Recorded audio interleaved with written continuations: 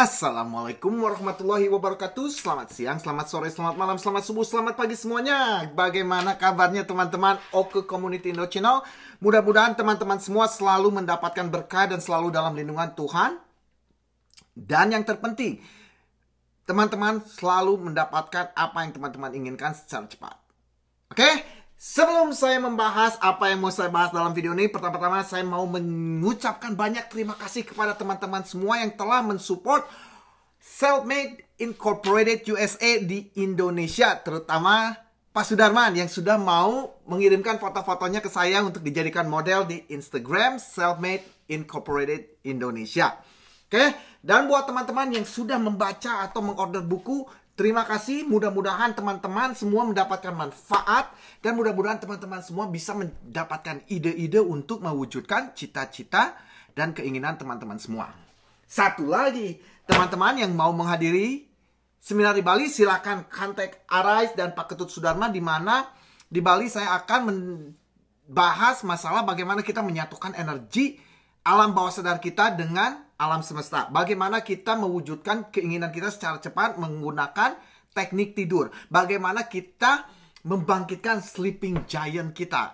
Kalau teman-teman bingung apa sleeping giant itu, silahkan tonton video saya yang sebulan ke belakang. Kalau nggak salah, sebulan atau dua bulan ke belakang, saya membahas masalah sleeping giant. Semua orang-orang yang saya kenal yang sukses, yang bahagia, yang kaya, semua mereka menjalankan kehidupan mereka menggunakan Sleeping Giant. Oke, jadi kalau teman-teman bingung apa Sleeping Giant itu, silahkan cari video saya. Saya lupa judulnya apa, tapi kalau kalau nggak salah sebulan ke dua bulan ke, ke belakang saya bahas masalah Sleeping Giant. Anyways, on this video I want to talk about ego. Dalam video ini saya ingin membahas masalah ego, ego, egois yang dimiliki manusia. Ego itu adalah blok nomor dua terbesar yang dimiliki manusia menghalangi mereka untuk kesuksesan, kebahagiaan, dan kekayaan. Yang nomor satu teman-teman sudah pasti tahu. Saya sering sekali membalas, eh, membahas masalah alasan. Oke, alasan adalah nomor satu blok terbesar manusia untuk mendapatkan apa pun yang mereka inginkan. Dan yang kedua adalah ego. Oke, so yang dimaksud ego saya seperti ini ya. Mungkin teman-teman masuk ke ego itu apa sih? Saya tahu egois itu apa, tapi contohnya apa seperti ini. Saya akan memberikan beberapa contoh dalam real life, dalam sosial media, di internet, atau dalam bisnis. Oke? Okay? So, nomor satu. Orang selalu mempunyai pikiran seperti ini. Kalau kagak ada untungnya untuk gua, gua tidak usah melakukan apa-apa. Apa untungnya sih buat gua? Apa untungnya sih? Mereka selalu apa dulu? Apa yang bisa mereka dapatkan? Mereka selalu mencari balasan dahulu. Kalau saya, saya nggak pernah mencari balasan. Oke, okay? saya nggak pernah mencari keuntungan dari orang itu atau dari sesuatu, tapi saya mencari keuntungan dari alam semesta dan dari Tuhan. Yang maaf, keuntungan yang saya maksud adalah karma. Karma. Karma baik. Itulah yang saya cari. Seperti ini. Sekarang ini saya mempunyai 12 grup yang harus saya bina di Skype, di WhatsApp, dan di uh, Messenger group. Yang sembilan, ya sembilan grup ada keuntungan pribadi untuk saya. Kenapa? Karena saya dibayar. Yang tiga, tidak ada. Kalau saya memikirkan ego ego saya, apa yang saya dapatkan, apa keuntungannya buat gua, oke, okay, saya tidak dibayar sama sekali. Karena apa? Oke Indo Channel, saya tidak bayar sama sekali. Tapi apa? Ntar saya saya kasih tahu kenapa. Yang kedua, coaching Oke Indo Channel, saya tidak dibayar sama sekali. Yang ketiga, saya membimbing anak-anak SMA di sini yang yang ingin menggunakan apa? Yang ingin belajar masalah wirausaha, saya tidak dibayar sama sekali. Tapi, oke, okay, walaupun saya tidak dibayar, Walaupun sesibuk saya baga bagaimanapun sibuknya saya sekarang ini saya baru probably mungkin baru 14 12 sampai 14 hari saya datang lagi ke Amerika. Oke, di rumah saya lagi sedang mengejar kerjaan-kerjaan yang tertinggal. Terutama ada salah satu tantangan dari bisnis saya, investasi terbesar saya di luar Amerika sedang menghadapi tantangan karena kejadian alam. Saya sedang membereskan itu semua. Oke, sedang mencoba membereskan itu semua. Makanya saya dalam 14 hari ini saya benar-benar nelfon ke sini gitu gini gini ijaz sibuk. Tapi apa? Tapi saya masih menyempatkan tapi saya tetap menyediakan waktu untuk membantu teman-teman semua. Karena apa? Karena apa yang saya inginkan, saya inginkan didapatkan oleh orang lain itu. Oke, maksudnya gini, kalau saya menginginkan sukses, saya menginginkan kesuksesan di orang lain. Kalau saya menginginkan kekayaan, saya menginginkan kekayaan di orang lain juga. Maksudnya orang itu juga kaya sama saya bareng-bareng. Sukses bareng-bareng. Di, di, di Cirebon pernah saya bahas seperti ini. Dahulukanlah orang lain agar apa? Agar orang lain, Tuhan dan alam semesta mendahulukan kita. Oke? Okay? orang egonya terlalu gede, manusia itu egonya terlalu gede. Mereka tidak mau mendahulukan orang lain. Tapi mereka selalu mendahulukan diri sendiri dulu. Apa keuntungannya buat gua? Gua sudah tahu kok. Gak usah belajar lagi. Saya udah bisa kok. Ego. Kita harus mempunyai open-minded terus. Oke? Itu contoh pertama. Contoh kedua. Kalau teman-teman berteman dengan Pak Amir. Pak Amir MV, MV dari Kalimantan dan Mbak Fatini Semangat. Mereka berteman saya, berteman dengan saya di Facebook dan di Instagram. Oke, okay? semua teman-teman yang berasal dari Oke Indo Channel yang terus berteman sama saya di Facebook dan di Instagram, di Twitter, saya perhatikan satu persatu. Dan yang menonjol itu Pak Amir dan Mbak Fatini Semangat. Oke, kalau lihat teman-teman berteman dengan Pak Amir, perhatikan baik-baik bagaimana Pak, Pak Amir Mungkin secara tidak sadar atau mungkin sudah sifatnya Pak Amir. Karena begini, Pak Amir itu menurut saya itu berpengalaman dalam hidup. Mungkin saat ini Pak Amir belajar ke saya masalah law of attraction, tapi saya belajar masalah hidup kepada Pak Amir. Kenapa? Dia lebih berpengalaman dari saya. Oke? Okay? Mungkin karena Pak Amir tidak disengaja atau emang sifatnya sudah seperti itu. Apa? Tidak disengaja atau tidak disengaja Pak Amir itu selalu menanamkan karma baik. Kenapa masuk ke coba lihat gini ya. Ini di sosial media. Oke, ntar dibahas di bisnis, ntar dibahas di hidup, kehidupan kita sendiri-sendiri. Uh, kehidupan kita yang bukan di internet, bukan apa tapi kehidupan kita yang nyata. Kalau lihat Pak Amir, dia selalu engagement.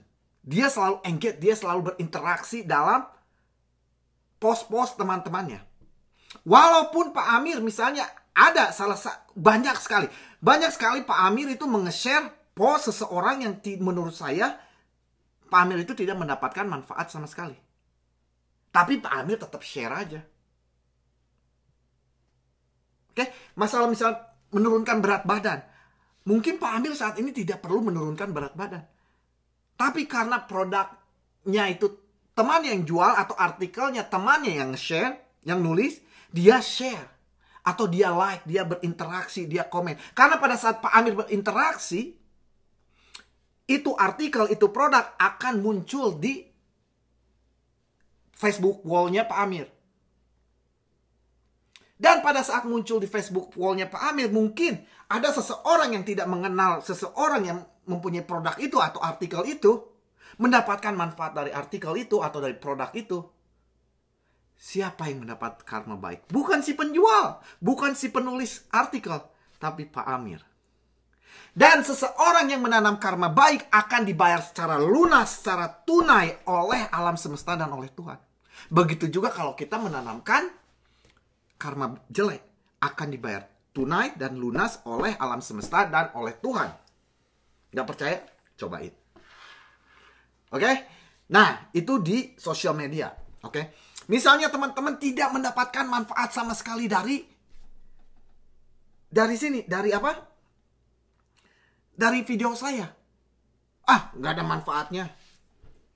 Udah aja. Tapi kalau teman-teman berpikir gini, ah nggak ada manfaatnya buat saya, tapi mungkin ada manfaatnya untuk orang lain. Terus teman-teman share ke misalnya anak, ke istri, ke saudara, ke teman. Eh, lihat nih video ini mudah-mudahan bermanfaat sama kamu. Dan pada saat orang itu yang kita share mendapatkan manfaat, siapa yang mendapatkan karma? Bukan saya. Bukan saya, tapi orang yang meng-share itu. Itu kita dalam sosial media, dalam internet, oke? Okay? Sekarang kita lihat dalam kehidupan. Misalnya, ada seseorang masalah seminar di di Bali misalnya. Saya mau ambil arai, oke, arai, arai yang mau, jad, mau dijadiin contoh saya. Misalnya arai, arai, ah nggak ada manfaatnya seminar di Bali buat saya, saya nggak bisa datang kok. Sampai situ, kalau arai egois, udah sampai situ, udah aja. Tapi karena arai tidak egois, karena Arai mendahulukan orang lain, mempunyai memikirkan orang lain, apakah ada seseorang yang mendapatkan manfaat dari seminar ini? Oh, sekarang Arai mengetahui, oh Putri, misalnya, Putri, dia itu orangnya sudah putus asa, dia itu orangnya sudah apa akan mengakhiri hidup, misalnya. Terus Arai melihat, hei Put, mungkin kamu bisa dapat manfaat dari seminar ini. Gi, cobain pergi cari tahu, mudah-mudahan kamu bisa mendapatkan manfaat. Dan Putri mengambil mendapatkan manfaat dari Arai. Oh, oke, okay, mungkin saya harus mengik uh, apa? Saya harus ikut seminar ini. Saya pergi ke Bali. Setelah itu, Putri sekarang menjadi seseorang yang berbeda. Menjadi orang yang lebih bahagia, menjadi orang yang tidak takut menghadapi tantangan, menjadi orang yang, yang lebih sukses, men bisa mendapatkan apa pun yang dia inginkan.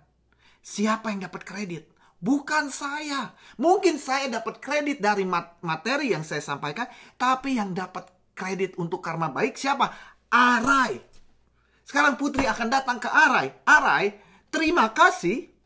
Terima kasih karena kamu sudah menge-share masalah seminar di Cirebon. Oh, tidak apa-apa. Mudah-mudahan bermanfaat untuk kamu. Iya, Arai, sekarang saya sudah menjadi orang yang lebih berbahagia. Sekarang saya sudah bisnis saya menjadi booming karena saya mendapatkan investor yang saya kenal di Bali. Karena saya mendapatkan bisnis partner yang kenal di Bali. Karena saya mendapatkan ide yang saya dapatkan dari seminar di Bali. Sekarang saya lebih bahagia, Arai. Oh, syukur. Jadi kamu tidak akan bunuh diri lagi? Enggak, Arai. Nah, itu baru kredit dari Putri. Putri baru ngasih kredit. Arai belum dapat kredit dari Tuhan. Belum dapat kredit dari alam semesta. Makanya siapa yang akan dap yang mendapat karma baik? Anak ini yang namanya Arai. Sekarang apa pun yang Arai inginkan, apa pun yang Arai cita-citakan akan dibalas tunai oleh alam semesta dan oleh Tuhan. Oke, okay? so mudah-mudahan itu bermanfaat buat teman-teman. Sekali lagi, jangan ditertawakan masalah Arai dan Putri. Saya lagi iseng aja, lagi lagi apa? Bahagia banget ya bahagia banget walaupun banyak tantangan sekarang ini masalah uh, bisnis terbesar saya tapi saya selalu mencoba untuk berbahagia oke? Okay? so mudah-mudahan itu bermanfaat. Sekali lagi terima kasih buat teman-teman. Kalau teman-teman mendapatkan manfaat dari video-video saya silahkan bagikan silahkan share ke orang-orang lain. Mudah-mudahan mereka juga mendapatkan manfaat dari teman-teman semua. Nomor satu. Nomor dua teman-teman sudah menanamkan karma baik. Nomor tiga apa yang kita tanam itu yang kita tuai. Ingat kita itu minority. Kita itu kaum minoritas. Jadi kita harus mau mau mencari atau mau dengan cara apa pun kita mencoba menyadarkan orang lain agar kita menjadi kaum mayoritas.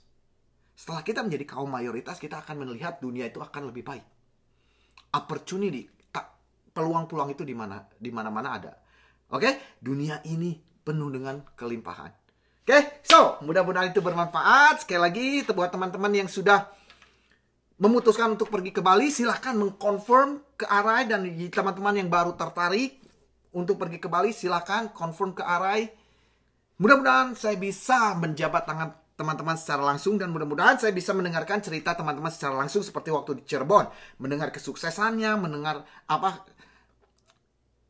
pertanyaan mereka, saya bisa menjawab secara langsung itu membuat saya lebih semangat dan lebih bahagia. Oke, sekali lagi Mudah-mudahan ini bermanfaat. Sampai ketemu di video selanjutnya. Wassalamualaikum warahmatullahi wabarakatuh. Selamat siang, selamat malam, selamat sore, selamat pagi, selamat subuh. Peace.